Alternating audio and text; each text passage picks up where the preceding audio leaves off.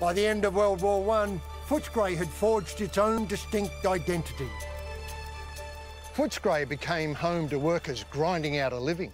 While outsiders turned their nose up at the joint and its industrial smells, the residents developed a fierce sense of pride in their community. This confident blue-collar suburb welcomed people prepared to put in the hard yards. Among them were members of the Aboriginal community, many of whom were leaving missions across Victoria and New South Wales in search of a new life. William Cooper, a Yorta Yorta leader, was one of these new arrivals. Kimberley Moulton is Cooper's great-great niece. Kimberley, this uh, street we're walking down, it's very important in your family. Why is it important in your family? Um, my great uncle William Cooper moved to this street in Footscray in around 1933. Uncle William was living at Cummeragunja Mission, and Cummeragunja Mission, you know, at that time was a very oppressive place for Aboriginal people, and it was a, a sense of community there because they were all there together, but there was also a lot of oppression and brutality happening. Missions were created by churches in the 19th century to train Aboriginal people in Christian ideals. Conditions at Cummeragunja were appalling and the residents were denied basic human rights. Cooper never forgot his treatment there. After arriving in Footscray, he decided to devote the rest of his life to activism. This is where he established, along with others, the Australian Aborigines League.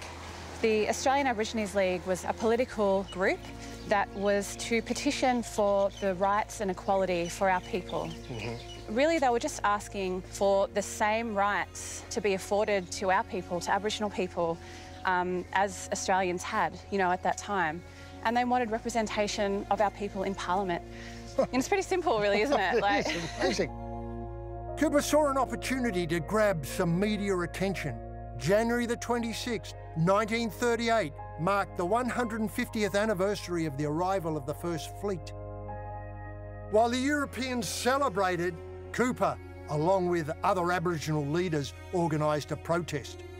They called it the Day of Mourning. It was the first Aboriginal civil rights protest in Australia. What they did was so important in terms of the political movement for our people, um, but it's so important to Australian history. Yeah. And it's important to local history, so the history of Footscray.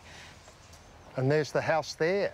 It's hard to imagine that things that began in that house we're still talking about today. I know. You know, it was at a time where they had very little rights of their own and I think if they can, you know, or could have done it back then, we can continue to do it now and we still have a long way to go.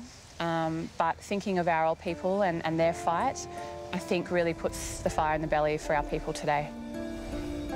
Cooper believed equality to be a universal human right.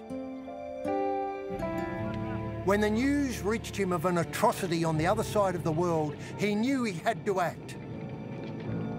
On November the 9th, 1938, Hitler unleashed a series of violent attacks against the Jews.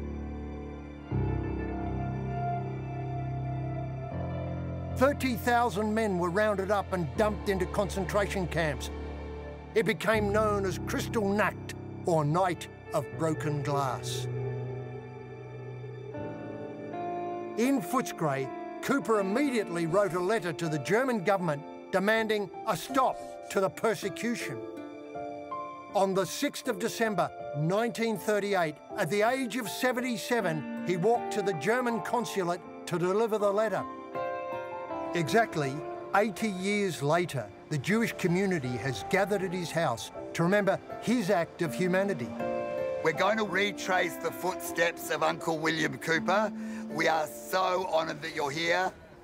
The march is being led by Cooper's grandson, Uncle Boydie. Your grandfather was a remarkable man. What can you remember about William Cooper? Oh, I remember that he was uh, busy every day writing letters. If he wasn't writing letters, he's walking into Melbourne. And he never come outside the gate unless he had a trial. And, and did you spend a lot of time in this house? Yes. My job was to open the door when he was in his sick bed. Yeah. Couldn't go out, so they used to come here and have the meetings in the bedroom. What do you think the march today represents? I went to Israel. Yeah. All the Jews knew the story, and he didn't. Uh, they didn't know the story here in, Melbourne. So we decided to do something about that.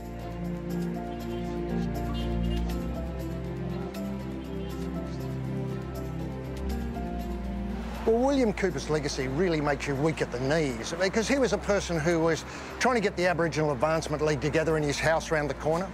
And he took time out from his work there to protest the Nazis' treatment of the Jews in Germany. No wonder he's accorded hero status in Israel.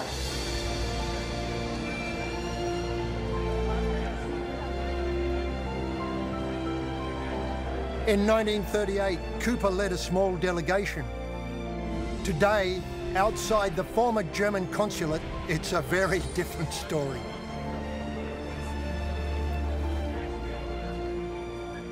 Look at the crowd that's come today to commemorate, to celebrate, to reinforce the idea that we have to take on the world's humanitarian problems. Here was a man in Footscray who lifted his gaze from Footscray to the world and saw what was happening in Germany and decided to do something about it.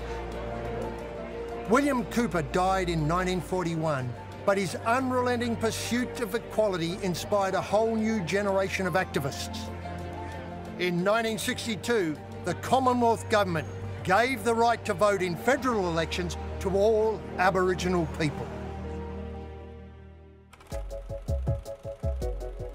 At the end of World War II, Europe was devastated. Millions were on the move, and Australia was the destination of many. It would change the face of Footscray forever.